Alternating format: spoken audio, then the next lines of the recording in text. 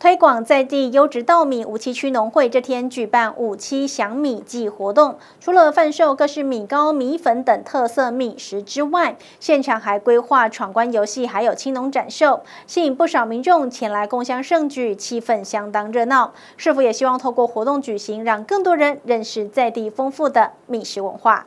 万万岁！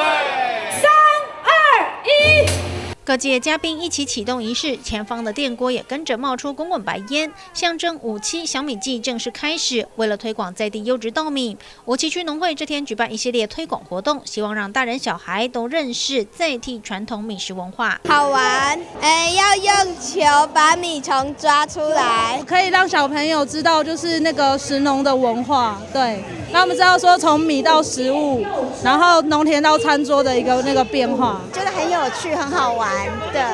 啊，因为它的活动有很多，然后还有在卖米食的东西，对，很丰富。社区妈妈带来精彩的舞蹈演出，炒热会场气氛。而现场除了贩售各式米糕、米粉等特色美食之外，还规划各种美食闯关游戏，以及农会辅导的家政班和青年农民一起摆摊，各式各样农产品齐聚一堂，展现台湾农业丰富的多样性。有趣的亲子闯关活动，让孩子们玩乐中。学习米食及农业的知识，见习小农买菜去的活动，更是瞬间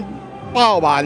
我们希望通过这些活动，让世代从小认识三张一 Q 的标章及农业的重要性。除此之外，农会这天也响应公益，连续多年都送出多包白米给华山基金会，让独居长者也能享用到优质好米。是否也希望透过活动举行，让更多人了解农业的辛劳与美好，鼓励年轻人返乡投入农业，共创台湾农业的美好未来？记者陈博翰台中采访报道。